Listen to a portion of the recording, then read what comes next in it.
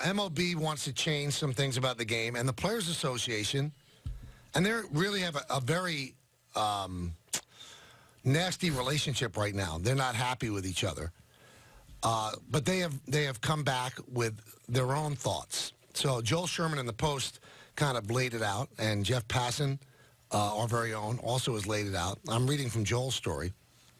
This is one of the big things: forcing pitchers to face at least three batters within an inning. The union recommended implementing it in the minors this year and the majors in 2020. According to Joel, the union probably comfortable with this proposal because with the great use of relievers now, the single batter reliever has been phased out. Because you can't have a guy out there to just face one guy. I don't love this, but it will speed up the game, the pace of the game, where you can't bring in a guy just to get one out and then bring in another guy to get another out. The guy's got to be in there for three outs. And it also puts a premium on pitchers that can get everybody out. And let's just look at the Yankees, for instance. I don't think it hurts them at all. None of their guys are the type of guys that can only get out the like side batter. So Boone has to bring in Ottavino to get three batters. He'll get three batters. Same But- thing with Betances. Same thing with So- Britton. But if the argument is they're being phased out anyway, then why do you even have to implement the rule? But people still do it. Yeah, but if it's being phased out, it just seems a little silly to now go the other extreme where it's probably not going to exist anymore anyway and doesn't really happen all that often to now I'm going to be forced to keep in a guy for three? Not two, now it's three. So basically, the, the in essence is you're hoping that he you know retires the side and it's kind of like one inning. But And, and also, I don't know, just weird. As I was driving in, I thought of a way to get around this. Let's say you bring in Britton to get a left-hander. Then the next batter is a big right-handed batter. Now, Britton could get out righties, but Boone wants to bring in Betances to get the right-hander. So he tells Britton, here's what you do. You get out the, uh, the left-hander, and then something hurts in your side. Your back hurts. I got to take out. What do they do then? If a pitcher leaves with an injury in a big game, I'm not saying you do this in an April game. How could you stop that? you can't. You You, can't. can't. legislate it. You can't. I mean, it's right. it, it. This is almost very reminiscent to me of the, the automatic base on balls, like the intentional walk. Like, did you really save all that much time? Just seems like a rule that's really. How often? There's no more Tony Fossas anymore. The guy to come face one guy. That doesn't. They, they admitted that it's being phased out. So why do you even have to do it in the first place? Limiting mound visits. MLB wants to go from six, which was installed last year, to four, and then three in 2020. Union proposed six to five this year, and then if games are slower in 2019 than in 2018, MLB would be within its rights to go down to four. They put the six visits in, Don. I don't. I don't remember one game where it became an issue. Not one. Honestly, I don't remember it being an issue. So that served its purpose because Gary Sanchez would go out 13 times a game. So you did stop that. Yes, that you stopped. So that worked. I don't know if cutting it down to three is the answer. No. Pitch clock. This is a no-brainer. And it shouldn't be called a pitch clock because it seems like the onus is always on the pitchers. The batters are just as much at fault. A pitch must be delivered in 20 seconds. Batter can't keep stepping out. If he steps out with 20 seconds into the, the before the, the since the final pitch, he gets called a strike. It get a, a strike on him. But that rule's in place right now, Don. You always say this, and they don't enforce it. No, because what, what are the punishment for for it? Now that sounds like there's going to be a punishment that, that it would be a, a strike. If he's not in the batter's box, then and he's not ready to receive a pitch, then it would be a strike. At least there's a punishment to it now, not a suggestion like it was before. Number four, and this is the big one. DH installed in the National League. I think this is the one that's going to be met with a lot of resistance from purists. But I just think it's inherently unfair to American League teams in World Series games and interleague games to have their pitchers do something they never do. Now, should they be able to do it? Yes. But they haven't been asked to do it in almost three decades, more than three decades. Here's my problem, Don. In fairness to National League teams, you cannot implement this on February 6th. They have not built teams with de- designated hitters. No, this has to be something you say starting 2020. Right. And for the Mets, it would be a home run. Because all of a sudden, Yeah. those last three years of Robinson Cano don't seem as bad. But isn't that kind of what you want to do? Like the DH extended careers. We got to see Dave Winfield longer. We got to see Don Baylor longer. Maybe we would have seen National League guys longer had the DH been in place. And here what I would, here's what I would say to the purists. I get it that there was a distinct difference between the American League and the National League, the way the game was played. If you remember, the umpires were, were different. You had American League umpires, you had National League umpires. For the uh, people that aren't old enough to remember, Peter may not even remember this, that there was a time where the American League umpires actually had the shield, where the National League umpires had the chest protector underneath their jersey. The American League umpires actually had that big pillow in front of them. Remember that? Yep. And because of that, the feeling was they couldn't see the low strike. So in the American League, the strike zone was completely different. So there was two distinct differences, and there was no interleague play, so they never played until they got to the World Series. Now they play each other every day because of the odd number of teams, right? They play each other every day. There are no more American League and National League managers. All the managers are in both leagues. The only difference between the two leagues now, the only difference is the DH. Why? Why? It extends careers. You're trying to promote offense.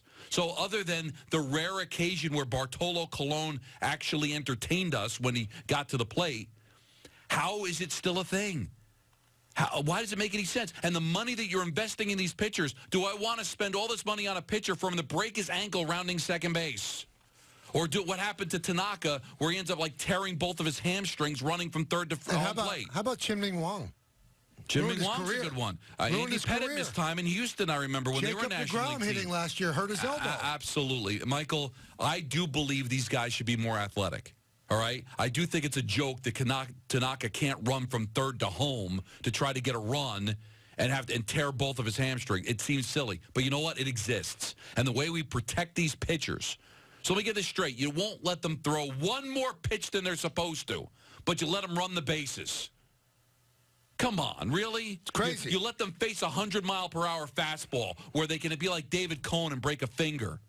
You Come treat, on. You treat them throughout their career as delicately as you would They treat jackets. a it's 85 egg. degrees. They're wearing jackets on the base bat. Come on.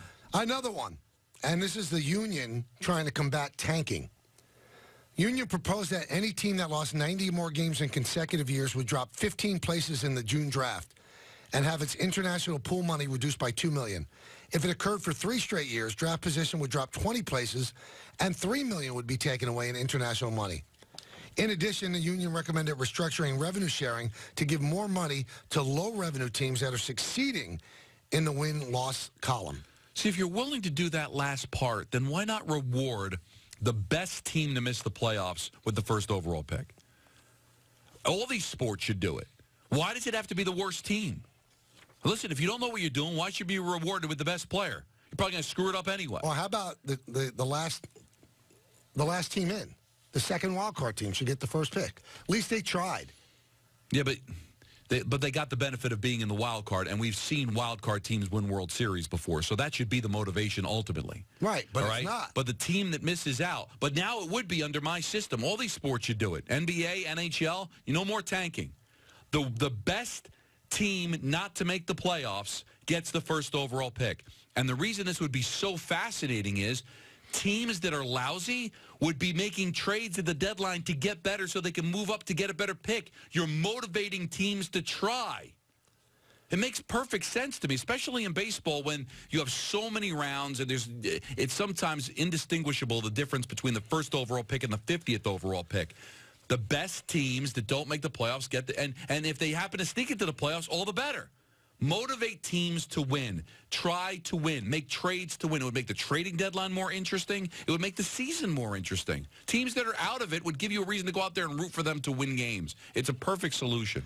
Now, as a way to control, uh, combat service time um, games, which you know teams keep strong prospects down to impact when they could uh, begin arbitration and free agency. Union proposed that a first-year player would be awarded a full year of service if you were top three in Rookie of the Year, MVP, Cy Young, or the Rivera Hoffman Relief Awards.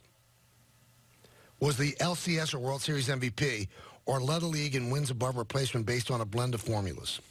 I don't think the owners will go for that. Uh, as a way to improve the game, experience for fans, Union offered to allow more players and dugouts to be mic'd and have two-way mics between players so that in-game conversations can be heard by fans. I like that. And the union proposed having a single trade deadline as early as before the All-Star game as a way to force teams to try to win early and not sell off late. Currently, non-waiver deadline is July 31st. Waiver deadline is August 31st. Now, here's the part I love. There are also re- recommendations for studying the, studying the lowering of the mound, which I hate. Mm-hmm. I mean, what do you want? 500 runs a game scored? Expanding the rosters to 26, which I love, in exchange for a September lowering to 28. There you go. A 40-man roster in September is one of the great derelictions of duty to what the sport's about. And they say allowing major league contracts to amateur two-sports athletes, such as Kyler Murray. I don't like that because there's going to be a guy who said, by the way, I was on the tennis team, Yeah, yeah but we, how do you, you, that's that's Right. that's impossible. so I wouldn't Um, do that. What I don't understand about the uh, expansion of the rosters, expand the rosters, but have, have healthy scratches. You expand the you you could expand the roster, but you're still only allowed to dress the 25, right? Yeah. Why do teams get this influx of talent at the time when it's it's supposed to be a war of attrition, right? Why do I get all these fresh arms in September when I'm supposed to be battling to try to show you that I'm stronger than you with what I had at the beginning of the year? So bring these guys up because the minor league season's over. They need something to do, and they can play, but it's going to come at the expense of somebody else. Do it like hockey. You have a roster, but you know what? You're only allowed to dress. In hockey, it's 20. Baseball, you can have a 25 or even expand it to 28 if you want. But to have 50 guys in the dugout, all of them eligible to play at the time of the year when these games are the most important, that makes zero sense. It, it's terrible. It, it really is because there are teams that are playing for something, and you could look at the Red Sox the year that Terry Francona got fired. You know, they were playing the Orioles, and and the Orioles, you know, the Bucks running pitcher after pitcher out of there. I mean, a good manager is going to be able to take advantage of a 16-man bullpen. Another one of the proposals I, I read, they want the bullpen to be limited to 12. I love that too. And that maybe would stop all the nonsense with starters or openers or whatever the case may be.